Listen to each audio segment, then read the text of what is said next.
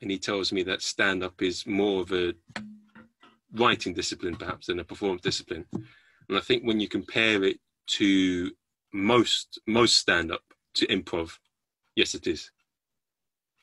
Well, I would just say improv is perhaps more useful to improving social skills than perhaps stand up. I I think because I had an improv background and improv was the closest thing I'd done to stand up. I did think that the skills I learned doing improv would help when I started doing gigs, but I don't think most of them did.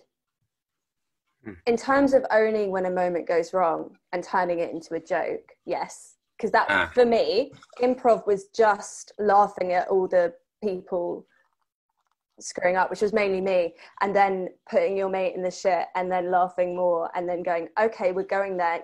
I have to say yes. So, yeah, fine. That was insane, but fine. Do you know uh, Pernilla Holland? Yes. Yeah. Lovely lady. So I was in Netflix with her, and her first gig, I brought her in because I'd known her from drama school. Her first gig, there was a bit where her and this other girl, Holly, um, they were having, you know, they were making a deal and they were about to shake hands and Pernilla spat on her hand. And Holly was just like hesitating and waiting. And she just looked at her and was like, It's really there, isn't it? She was like, Yep.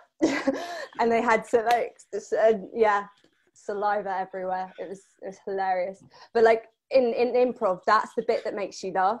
It's the bit where you can see the performers are going, I can't believe this is happening. I, fine. Because you can't say no. so you just have to say yes yes and and yeah it doesn't it ends up in a lot of sort of tongue-in-cheek moments um, whereas stand up that rarely happens unless an audience member gets involved and then you really have like a back and forth going